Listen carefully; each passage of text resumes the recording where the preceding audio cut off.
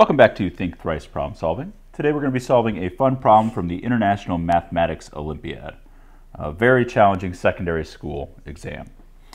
Uh, this problem is not too tough if we go with the right strategy, but it takes a lot of intuition to kind of figure out where to go with this. So our problem, we have a function that maps integers to integers, and we know that f of 2a plus 2f of b is equal to the composite function f of f of a plus b. So pause the video if you'd like to try on your own. Otherwise, let's go ahead and get started.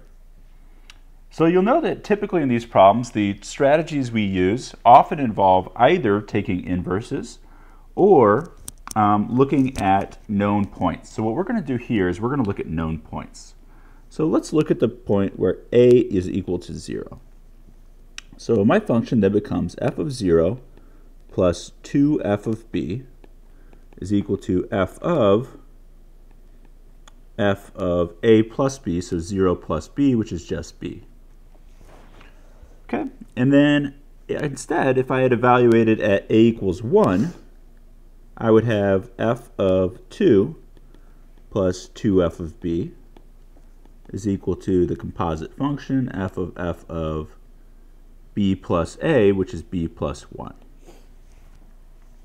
So now what I'm going to do is I notice that in the first equation I had a equals 0. So let's look at a equals 0 again. But let's set b, I'm going to call it b bar, equal to b plus 1. So we're basically setting the b in our green equation equal to b plus 1. So then we can write our equation, once again, f of 0 plus 2 f of b plus 1 is equal to f of f of b plus 1 because b was just an arbitrary variable, so that means that if I plug in b plus 1, I should be able to get the same thing. So the green and purple equations are essentially the same equation. But now we notice something pretty cool. So on the right side of our equations, I get f of f of b plus 1 for both of these. And what that means is that the left side of each of those equations will be equivalent. So if we do f of 2 plus 2f of b that's going to be equal to f of 0 plus 2f of b plus 1. So let's rearrange a little bit, and I'm going to get f of 2 minus f of 0 is equal to 2f of b plus 1 minus 2f of b. And what I notice here, so let's divide both sides by 2, and I'm going to get f of 2 minus f of 0 divided by 2 is equal to f of b plus 1 minus f of b. Okay, so this is a pretty important stage we've gotten to right here. So this number on the left, so I have my function evaluated 2 and my function evaluated 0 divided by 2. So this is going to be some constant value. Okay, so that's never going to change because my function is going to be set. And what I have on the right side, I have f of b plus 1 minus f of b.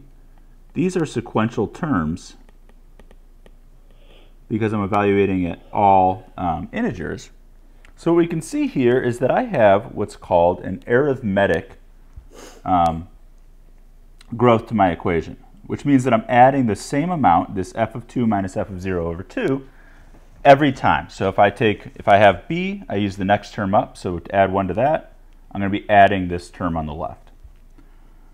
So that means that my equation is going to be in the general form where f of x is equal to, I have a and b already, so let's call it cx plus d,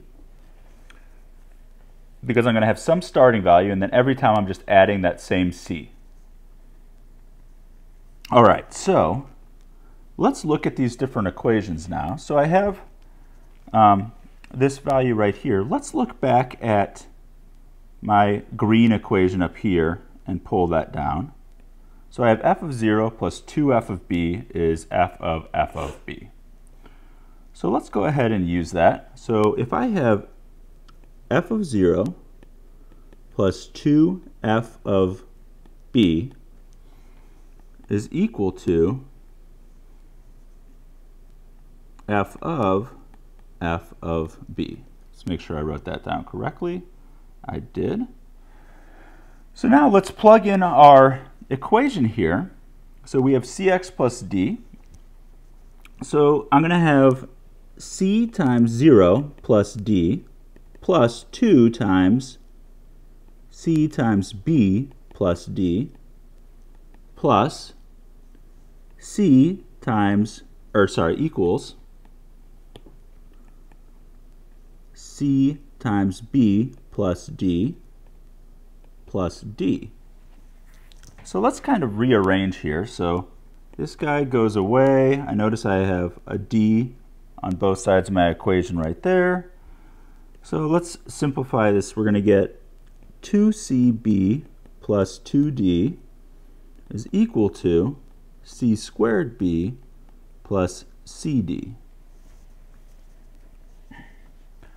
So I'm going to rearrange just a little bit more so that we can see it's going to be b times 2c minus c squared plus d times 2 minus c is equal to 0. All right, so one thing we know, so c and d are constants. So these are parameters in our equations. B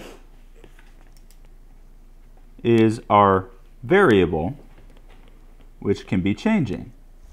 So what does that mean? If we can plug in any b value and this equation needs to work, that means that 2c minus c squared must equal 0. And the second term, d times 2 minus c, must also equal 0. So if we look at 2c minus c squared, that's equal to 2 minus c times c. So we can see that either c equals 0 or c equals 2. So if we look at our second equation where we have d times 2 minus c is equal to 0, if c equals 0, then 2d is equal to 0 and d is equal to 0. If c is equal to 2, then we have 0 times d is equal to 0, which will work for any d value. And remember that we have to output an integer, so d will have to be an integer as well. So we've actually developed our full set of solutions now. So what we've determined was that f of x had to be of the form cx plus d. So our two solutions are f of x equals 0, that's from this guy up here, or f of x is equal to 2x plus d with d an element of the integers. And that is our full solution. These are the only possible equations that will work. I hope you enjoyed working through this problem with me. If you did, please like and subscribe. If you have your own problem you'd like me to work through and solve, please submit it. As you're working through problems on your own and you get stuck, think once, think twice, and if you're really stuck, think thrice.